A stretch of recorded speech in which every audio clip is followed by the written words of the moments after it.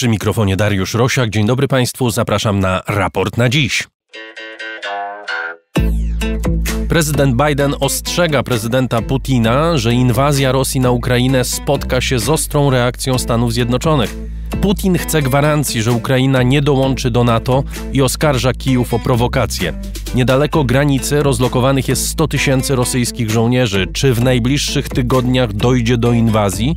Czy wideo rozmowa obu prezydentów rozładowała emocje? O tym w raporcie na dziś, 8 grudnia 2021 roku.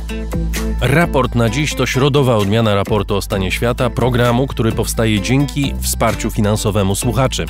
Za wszystkie wpłaty, niezależnie od ich wysokości, z serca Państwu dziękuję. A jeśli ktoś chciałby zostać patronem raportu, zapraszam na mój profil w serwisie patronite.pl. Za jego pośrednictwem najłatwiej nas wesprzeć. Przypominam nasz adres raportrosiaka.gmail.com. Adres naszej strony internetowej to raportostanieświata.pl. O tyle to ważne, że właśnie z niej mogą Państwo słuchać naszych audycji w najlepszej jakości dźwiękowej. Zachęcam do odwiedzenia strony i przeszukania jej zasobów. Wszystkie nasze programy są tam łatwo dostępne, podzielone na kategorie i skatalogowane tematycznie. Adrian Bąk i Chris Wawrzak w reżyserce Studia Efektura. Zaczynamy. Moim gościem jest dziś Wojciech Konończuk z Ośrodka Studiów Wschodnich. Dzień dobry panu. Dzień dobry. Dlaczego doszło do tej rozmowy?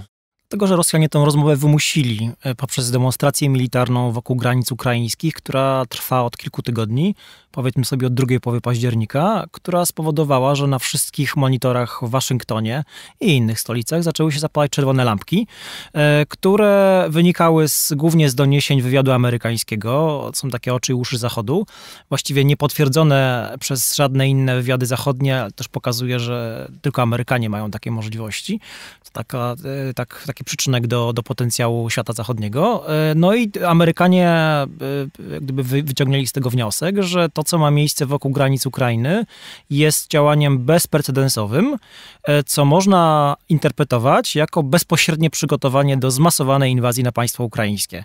Więc w związku z tym, że te e, czerwone lampki zaczęły się bardzo mocno świecić, Amerykanie wyciągnęli wniosek, że Rosjanie prawdopodobnie tym razem nie żartują i trzeba uruchomić dyplomację. To spotkanie e, z Biden-Putin, ono było przygotowane od wielu tygodni, niezależnie od tego, co Rosjanie robią wokół granic ukraińskich, e, co wynika z pewnego mechanizmu dialogu strategicznego, który zaczął jeszcze się kilka miesięcy temu, krótko po inauguracji prezydenta Bidena. E, ten dialog służy nie tylko, kwest, nie tylko kwestia ukraińska jest problemem w, w tych rozmowach, także znacznie większe jest spektrum tych tematów, które są poruszane, no co nie zmienia faktu, że bezpośrednio to spotkanie zostało zorganizowane dlatego, że Rosjanie zrobili to, co zrobili i cały czas robią wokół Ukrainy. Ta reszta tematów to między innymi Iran, Syria, prawda? To są ważne rzeczy, które y, do pewnego stopnia łączą, do pewnego stopnia dzielą Stany Zjednoczone i Rosję. Wydaje mi się, że poza oczywistym tematem, czyli Ukrainą, która zdominowała e, większość tego spotkania wczorajszego, tam są oczywiście tematy, które pan redaktor wymienił, natomiast ja bym zwrócił uwagę na jeszcze jeden, czy na kwestię cyberbezpieczeństwa, cybera, cyber, cyberataków właściwie, dlatego że Amerykanie mają od kilku już lat zresztą, nasilający się problem związany z cyberatakami na ich infrastrukturę krytyczną ze strony prawdopodobnie e, hakerów związanych z wywiadem rosyjskim, co jest pewnego rodzaju no, takim narzędziem wpływu Rosji na sytuację bezpośrednią w Stanach Zjednoczonych.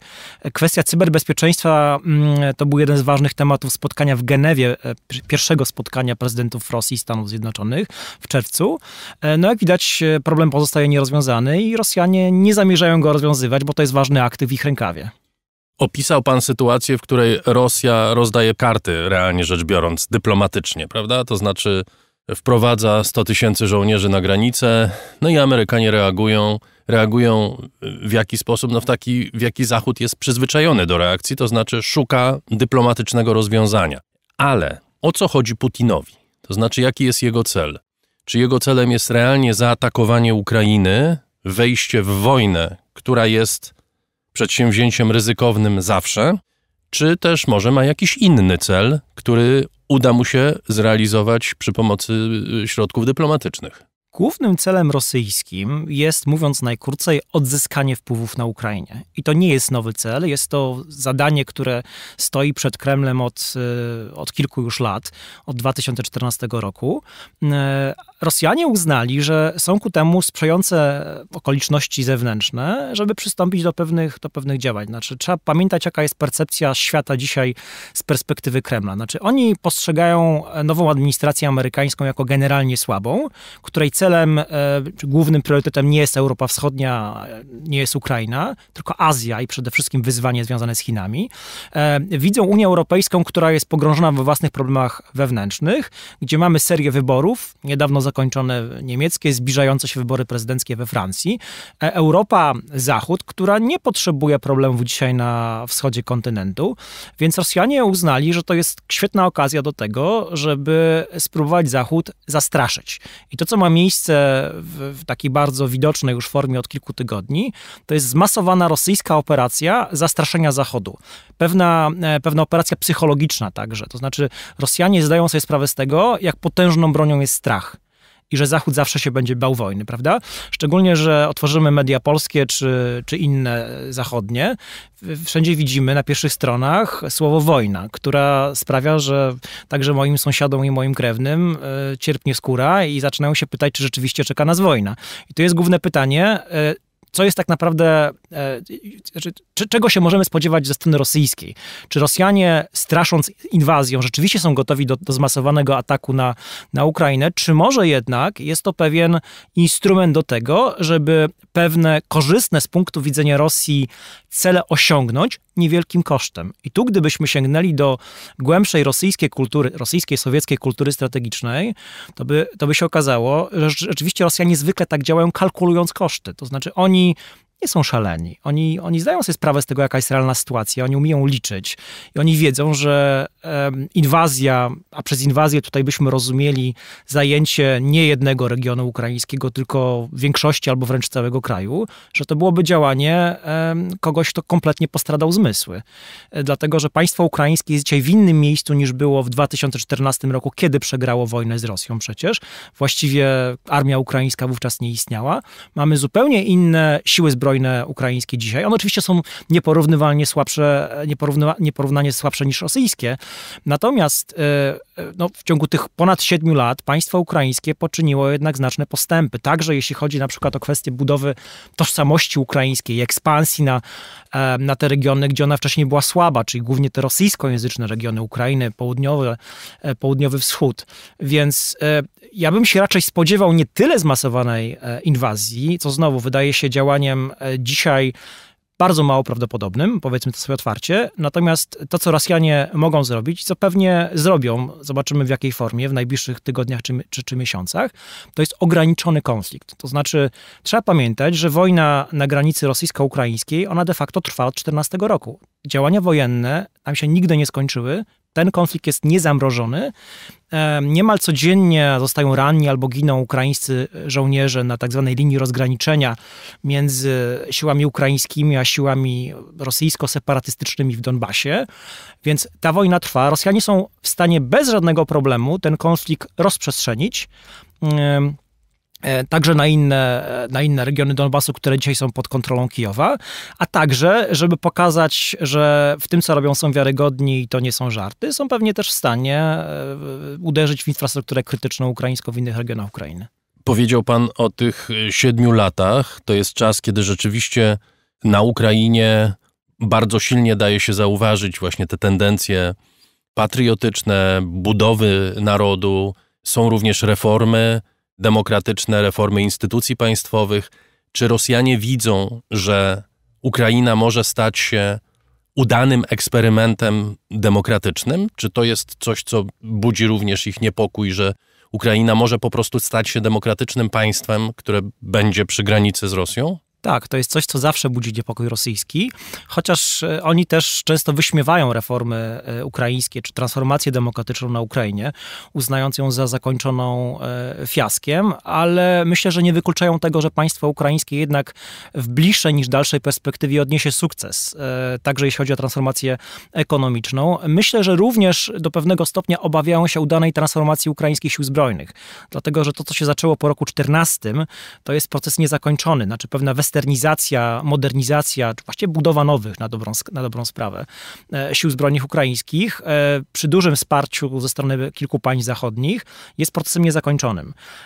W 2022 i 2023 roku ukraińskie siły zbrojne oczekują na dostawę nowego wyposażenia, nowych, nowej broni e, ze strony Zachodu, co, co sprawi, że ich potencjał będzie nieporównywalnie silniejszy niż jest dzisiaj. Tak więc być może jednym z celów rosyjskich tak bym przypuszczał, jest również ograniczony konflikt, który będzie miał także na celu zniszczenie ukraińskich sił zbrojnych. Znaczy, znowu, Rosjanie nie potrzebują inwazji e, pełnoskalowej na państwo ukraińskie, tylko pewnych celnych e, ostrzałów, uderzenia w ukraińskie siły położone głównie przy granicy z, z Rosją i Donbasem. Doradca do spraw bezpieczeństwa narodowego Jake Sullivan jasno powiedział po tej rozmowie, że e, Stany Zjednoczone mają pewien zestaw operacji, które mogą przeprowadzić w wypadku tej inwazji ewentualnej, to by było rozmieszczenie dodatkowych wojsk, doposażenie armii ukraińskiej, sankcje oczywiście gospodarcze. On również zauważył, że ten gazociąg e, Nord Stream 2 e, może stanowić taką dźwignię, argument dla Zachodu w negocjacjach z Rosją. To jest jeszcze jeden chyba powód do takiego przekonania, że dopóki tej certyfikacji przynajmniej nie będzie, Putin na żadną formę agresji wojskowej się nie zdecyduje. Tak, rzeczywiście, to jest jeden z tych warunków, które y, jeśli byśmy przyjęli, że Putin myśli racjonalnie, y, to powinien... A musimy tak przyjąć, bo dlaczego miałby, mielibyśmy przyjmować inaczej? Nie, nie dał dowodów jak dotąd, że myśli nieracjonalnie. No, myślę, że pewne dowody jednak dał. Weźmy choćby jego niedawny artykuł na temat Ukrainy, gdzie on przekonuje na kilkunastu stronach, że Rosjanie i Ukraińcy to jest de facto jeden naród. Więc ja bym jednak e, sądził, że Putin ma pewną e, antyukraińską obsesję że on uważa, że ważnym dziedzictwem jego rządów będzie przywrócenie historycznej łączności między Rosją i Ukrainą. Zresztą, gdybyśmy spojrzeli na pierwszy okres jego rządów, to bardzo wtedy już się widocznie za, można było to zauważyć. Więc jak gdyby wracając do pana redaktora pytania dotyczącego tego, jakie instrumenty wpływu na, na, na Rosję może mieć dzisiaj Zachód. Nord Stream 2 z całą pewnością jest jednym z nich. I to było mm, może szczególnie widoczne wczoraj, kiedy przed Senatem amerykańskim odbyło się przesłuchanie zastępczyni sekretarza stanu Victorii Nuland. E, senatorowie amerykańscy przepytywali ją co do tego, jakie środki może podjąć administracja Bidena. I tutaj na pierwszy plan wysunął się właśnie kwestia, wysunęła się kwestia Nord Stream 2. E, Amerykanie oczywiście mogą, e, jeśli będzie taka potrzeba, nałożyć nowe sankcje, ale ja mam wrażenie, że oni jednak próbują przekonać do tego Niemcy, że e, to sami Niemcy, w przypadku gdyby powstała taka konieczność, czyli to należy czytać jako agresyw, agresja Rosji przeciwko Ukrainie, to sami Niemcy powinni e, zablokować Nord Stream 2, ale to będzie trudniejsze, kiedy e, ten gazociąg dostanie certyfikację od niemieckiego regulatora i to jest prawdopodobnie kwestia najbliższych 3-4 miesięcy. No problem oczywiście polega na tym, że Niemcy realnie rzecz biorąc nie mogą się z tej decyzji wycofać, bo to jest decyzja, która stoi u podstaw w ogóle ich transformacji energetycznej i polityki, która prowadzona jest już od kilku lat i będzie prowadzona w najbliższym czasie, więc tutaj mamy pewną matnię polityczną, w którą zapędziły się i Niemcy, i Amerykanie, podpisując z Niemcami porozumienie y, w lipcu. Bardzo trudno będzie realnie rzecz biorąc Nord Stream 2 wykorzystać, czy nie? Czy myśli pan, że ciągle jakieś miejsce jest? Myślę, że to będzie zależało od tego, co zrobią Rosjanie. Gdyby się okazało, że mamy do czynienia z ewidentnymi e, działaniami rosyjskimi, które e, pewnie znowu będzie to raczej e, ograniczona agresja, ale jednak moim zdaniem jakie jakieś działania zbrojne Rosjanie, jeśli zobaczą, że ta druga strona, czyli Zachód, nie przyjmuje rosyjskich warunków i żądań, to pewne działania militarne mogą podjąć. Także dlatego, że oni mają właściwie niewiele innych instrumentów wpływu na państwo ukraińskie i na Zachód dzisiaj. Zdają sobie sprawę z tego, że e, właśnie działania wojskowe najlepiej przemawiają do wyobraźni i polityków, i społeczeństw e, zachodnich. W tej sytuacji bym jednak nie wykluczał, że co najmniej ten projekt zostanie zahamowany, tak? Znaczy postawiony na, pełno, na pewną pauzę. Trudno mi sobie wyobrazić, że Niemcy e, państwo, w którym jednak jest w dużym stopniu konsensus polityczny e, poza zielonymi, e, co do tego, że ten, gaz, że ten gazociąg powinien zostać uruchomiony, nagle powiedziały nie, wydaliście kilkanaście miliardów dolarów, ale jak gazociągu nie będzie, gaz nigdy nim nie popłynie. To jest raczej trudne do wyobrażenia. Myślę, że Rosjanie też to wiedzą i dlatego raczej będą próbować robić to, co, to, co chcą robić w pewien bardziej no, wyrafinowany sposób. Jak cała ta sytuacja odbierana jest w tej chwili na Ukrainie, zarówno wśród polityków, jak i wśród normalnych ludzi, tak zwanych. To znaczy, czy ludzie się przygotowują na wojnę? Nie, znaczy na pewno nie ma tam paniki. E, także politycy ukraińscy, co jest ciekawe, e, nie próbują sytuacji zaostrzać. E, mamy komunikaty choćby od ministra obrony ukraińskiego, który mówi, że armia ukraińska jest przygotowana na ewentualną rosyjską agresję, chociaż to jest oczywiście robienie pewnej pokerowej miny. Oni sobie zdają sprawę z tego, że armia ukraińska może zostać rozbita w bardzo krótkim czasie. Natomiast nie ma na Ukrainie gotowości, to warto podkreślić, do e, przyjęcia warunków rosyjskich. Znaczy, kluczowym warunkiem rosyjskim jest implementacja przez Kijów porozumień z Mińska z 2015 roku. Tutaj możemy krótko przypomnieć, że to było porozumienie, które zostało podpisane w Mińsku e, przez ówczesnego prezydenta Ukrainy Petra Poroszenkę e, po kilkunastu godzinnych negocjacjach w formacie przywódcy Rosji, Ukrainy, Francji i Niemiec. Jest to porozumienie, które jest dla Ukrainy niekorzystne, które zostało podpisane przez Poroszenkę trochę na zasadzie przystawienia pistoletu do głowy. E, siły zbrojne rosyjskie na wschodzie Ukrainy e, zwiększały obszar, który, który kontrolowały, co groziło rozlaniem się tego konfliktu poza tylko Donbas. No więc przekonany również przez liderów Francji i Niemiec, Poroszenko podpisał to, co podpisał. Natomiast w Kijowie nie ma gotowości do tego, żeby ten dokument e, wypełnić, go zrealizować. I co jest ważne, niezależnie od tego, kto dzisiaj w Kijowie rządzi, czy kto będzie rządził tam jutro czy pojutrze, żaden ukraiński przywódca tego dokumentu nie może zrealizować. Dlatego, że nie będzie na to zgody ze strony społeczeństwa ukraińskiego. To znaczy podpisanie, ewentualna implementacja tego dokumentu, a tego żądają Rosjanie, będzie oznaczała kolejną, kolejną rewolucję. Zaczęliśmy tę rozmowę od Pana uwagi, że y, tak naprawdę stroną, która rozdaje karty, jest Rosja. Ameryka reaguje na to, co y, robi Putin. Jest jeszcze jeden chyba aspekt, który pokazuje, w jak trudnej sytuacji są Amerykanie, bo Rosjanie wygrywają swoje wojny. To znaczy mniej lub bardziej, ale je wygrywają. Jeśli spojrzymy na czas od Gruzji, poprzez zajęcie Krymu, obecność w Syrii, działania w Afryce, to są mniej lub bardziej, ale jednak operacje, które realizują w jakiś sposób interesy rosyjskie. Zachód ponosi w ostatnich latach, a zwłaszcza Amerykanie, klęski. To jest Irak, to jest Syria, to jest Libia, to jest Afganistan w ostatnich miesiącach. Czy to również nie będzie miało wpływu przede wszystkim na opinię publiczną? Ludzie się stali bardzo cyniczni wobec jakichkolwiek inicjatyw militarnych Stanów Zjednoczonych. Czy to nie będzie pańskim zdaniem wpływało na to, co już w niektórych miejscach w Ameryce widać i pewnie w innych krajach będzie za chwilę widoczne. Zostawcie tego Putina w spokoju, przecież on ma rację, jak mówi, że to jest zagrożenie dla niego. To NATO się ciągle rozpycha, to NATO chce rozmieszczać broń i rozmieszczać swoich żołnierzy przy jego granicach. Zostawmy go, niech on sobie sam w spokoju żyje. Takie głosy oczywiście są e, i w Unii Europejskiej, i w Stanach Zjednoczonych. Nie mam wrażenia, że one dominują, e, jeśli chodzi o polityków i ekspertów, e, chociaż ci ostatni mieliśmy, czy cały czas mamy dyskusję w, w gronie najbardziej wpływowych amerykańskich ekspertów od tego regionu, gdzie jedne, jedno ze skrzydeł tego, tego spektrum twierdzi, że należy przyjąć de facto warunki rosyjskie i zmusić Kijów do tego, żeby porozumienie z Mińska podpisał. Natomiast trzeba też pamiętać, że to, co się stanie z Ukrainą, to, to, to też jest, czy może przede wszystkim to jest test dla amerykańskiej potęgi w tej części świata. To jest trochę tak, że mamy w Azji Tajwan, i to, co się stanie wokół Tajwanu i jakie będą reakcje amerykańskie, to jest test dla USA, w, dla polityki USA w tej części świata.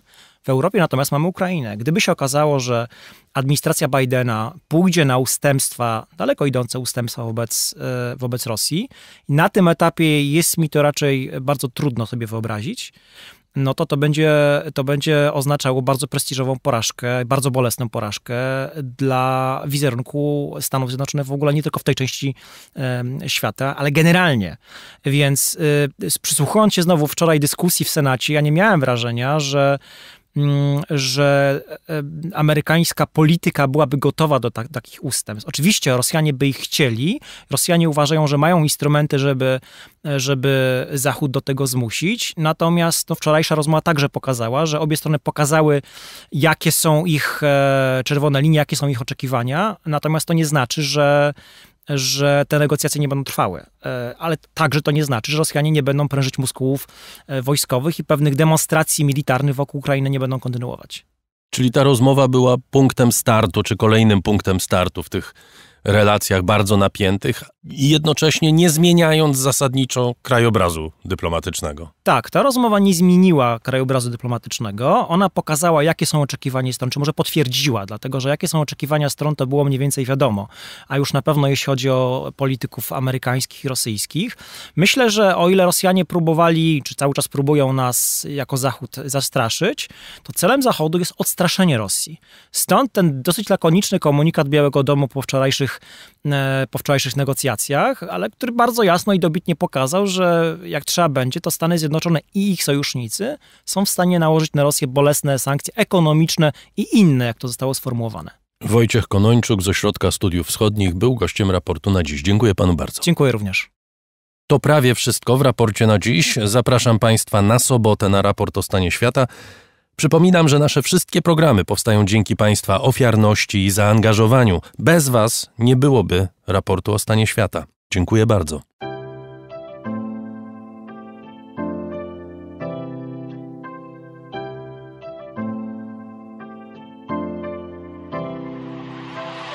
Raport o stanie świata od marca ubiegłego roku rozwija się dzięki Państwa zaangażowaniu i szczodrości. To dzięki Wam możemy opowiadać o świecie przy pomocy dźwięków. Dzięki Wam ten program jest przygotowywany w profesjonalny sposób z zachowaniem najwyższej jakości, bo na nią właśnie zasługują słuchacze raportu o stanie świata. Z serca dziękuję wszystkim Państwu za wpłaty. Wasza hojność jest dla mnie ogromnym zobowiązaniem. Zbiórka na patronite.pl ciągle trwa, zachęcam do udziału. Najhojniejsi patroni raportu o stanie świata to artrage.pl książki dostępne dla każdego. Za tyle, ile chcesz zapłacić. Bierz i czytaj. Aureus. Leasing, kredyt, ubezpieczenia, księgowość. Sprawdź nas na www.aureus.pl. Hotel Bania, Termal Iski z pakietami świątecznymi i sylwestrowymi. Firma doradcza Crido. Handyhand.pl Zapewnimy nadzór nad Twoją budową, sprawdzimy stan techniczny lokalu przed zakupem lub odbierzemy go od dewelopera. Kantory Kanga. Sieć stacjonarnych kantorów kryptowalutowych w Twoim mieście. Centrum Roślin Doniczkowych. Ładne Kwiatki. Tomaszewski w Warszawie. Tomaszewski.pl Razem w przyszłość. Polsko-Japońska Akademia Technik Komputerowych Warszawa, Gdańsk, Bytom. Firma Prosper z Sosnowca, hurtownia elektroenergetyczna i właściciel marki Czystuś. Firma Venterm z Niepołomic, generalny wykonawca instalacji sanitarnych i odnawialnych źródeł energii. Catering dietetyczny Lightbox, oferujący dietę pudełkową z wyborem potraw z różnych kuchni świata. Michał Małkiewicz. Firma Software Mill. Od zawsze zdalni programują dla całego świata. Dom wydawniczy Muza, bo świat nie jest nam obojętny. Uber. Myślimy globalnie, działamy lokalnie. A także firma Ampio Smart Home. BIMV.pl. Kursy online dla inżynierów. CIO Net and Digital Excellence. Łączymy ludzi i idee. Grupa brokerska CRB. Ubezpieczenie należności dla Twojej firmy. Bezpłatne porównanie ofert. www.grupacrb.pl Mariusz Drużyński. Salony meblowe Faster, Zełku i Białego Stoku wspierają piękne wnętrza. Agata Fischer. Galmet Polskie Pompy Ciepła. Marek Jerzewski. JMP z miłości do sportu, z najlepszych tkanin w sercu Podhala szyjemy dla Was porządną odzież. Palarnia kawy La Cafo z Augustowa. LSB Data. Dedykowane aplikacje internetowe dla biznesu. Masz pomysł? Zrealizujemy go. lsbdata.com Gosia i Michał Kowalczewscy. Alan Meller. Aplikacja Moja Gazetka. Polska proekologiczna aplikacja zakupowa z gazetkami promocyjnymi i nie tylko. Moja Gazetka. Kupuj mądrze. Paweł Nowy Nowak. Wydawnictwo SQN. Więcej niż książka. www.wsqn.pl Drukarnia cyfrowa totem.com.pl Dla nas książka zasługuje na najwyższą jakość. Fundacja Wasowskich, opiekująca się spuścizną Jerzego Wasowskiego i wydawca książek Grzegorza Wasowskiego. Szczegóły na wasowscy.com. Wayman oprogramowanie wspomagające firmy inżynieryjne w zarządzaniu projektami, stworzone przez polskich inżynierów dla sektora projektowego. www.wayman Software. Dziękuję bardzo. To dzięki Państwu mamy raport o stanie świata.